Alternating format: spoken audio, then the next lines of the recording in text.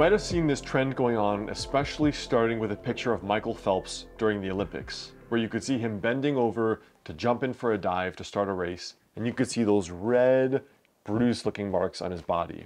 Now cupping has just grown in popularity since then, but I thought in this video I'd talk a little bit about what it actually is and what it actually does from a Chinese medicine point of view. Hey guys, I'm Dr. Alex Heyne, Doctor of Acupuncture and Traditional Chinese Medicine, author of the health book Master the Day. So before we jump in, there's two very important links right below this video. The first is for a free guide, which is four daily rituals that can potentially help you add years to your life with traditional Chinese medicine. And the second is if you'd like to learn more about becoming a patient of mine locally in Los Angeles or virtually via telemedicine, you can just check the link below the video to reach out to my private practice.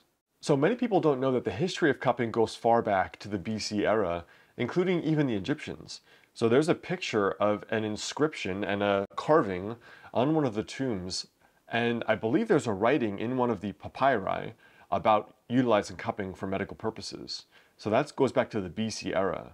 Of course, it goes back to the BC era in terms of Chinese medicine, so traditional or classical ancient Chinese medical texts also describe cupping. Even Hippocrates used cupping in ancient Greece. And on top of that, it's still widely used as a folk practice throughout Southeast Asia, parts of Africa even, and parts of the Middle East. So cupping goes back literally thousands of years and is really present in many different cultures, but probably it is most famous in modern times for being a part of the therapies associated with Chinese medicine. So acupuncturists doing cupping. Now, one of the main functions that cupping has in Chinese medicine is that we say it regulates the qi and the blood. So it not only moves the blood and it helps with circulatory disorders, but it also moves the lymph. So a clogged lymphatic system is often a big issue for people, especially with chronic disease, not just acutely getting your lymph, you know, your lymph nodes swollen, right?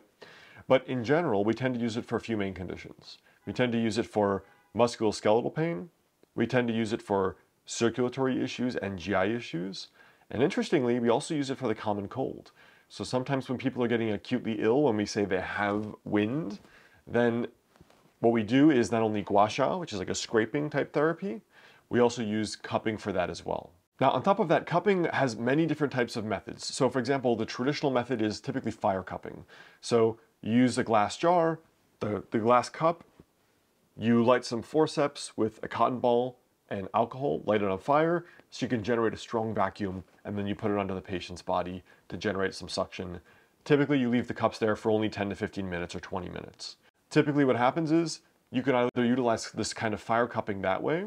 Sometimes we will also do sliding cupping, where you'll actually apply the cups via fire cupping and then slide them up the paraspinal muscles or even along the trapezius right, for people who have chronic back pain or chronic neck pain. That's one of the primary ways we use cupping. But on top of that, there are other ways you might not know.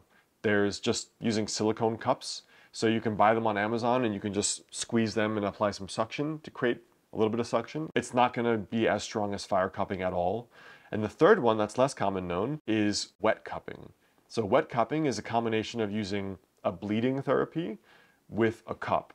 So I think in the Middle East, it's called hijama, something like that, where you will actually bleed the person. You just take a gentle lancet and quickly prick them like a finger prick as a child in an area where there's local issues in terms of blood flow, like for example with varicose veins. And what will happen is we'll actually bleed the area, use fire cupping over the area, and it will actually suck blood out of the local area. It's pretty, I would say, it's pretty barbaric looking, and if you want to scar yourself, go Google image wet cupping.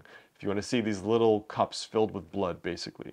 But it can help for areas of local, what we call blood stasis or blood stagnation, where chronically impaired circulation is causing pain or is causing issues. So of course you can do that with acupuncture as well. You can also increase the circulation and decrease inflammation by using Chinese herbal formulas to do the same thing.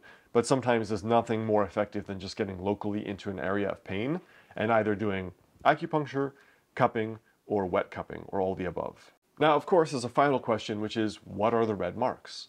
Well, when you do, like, for example, this scraping therapy, that's a little bit similar to cupping. What the red raised marks are called sha in Chinese medicine, so in Chinese. And in general, the general consensus is that the darker the color, the more there's impaired circulation or blood stasis, as we call it. So most often, the coloration will be somewhere between light and moderately dark, And if it's quite severe, then it's a darker, dark red or dark black kind of color. So those are indicating areas where there's been lack of circulation for a long time in general. That in general is what cupping is, a very brief look at the history, what we use it for in Chinese medicine, which I think is probably the profession most likely to utilize cupping, and what that sha, that red discoloration actually is. Sometimes you also get foam or moisture coming up. Obviously, if you're doing wet cupping, there will actually be blood that comes out. And there are many different ways to do cupping and ways to use it, but those are really the two main therapeutic purposes that we use cupping for. Alright guys, so that is uh, a very quick rundown on the history of cupping, what it is, what it's used for in Chinese medicine. So before you guys go, check out those two very important links right below the video, and I will see you soon.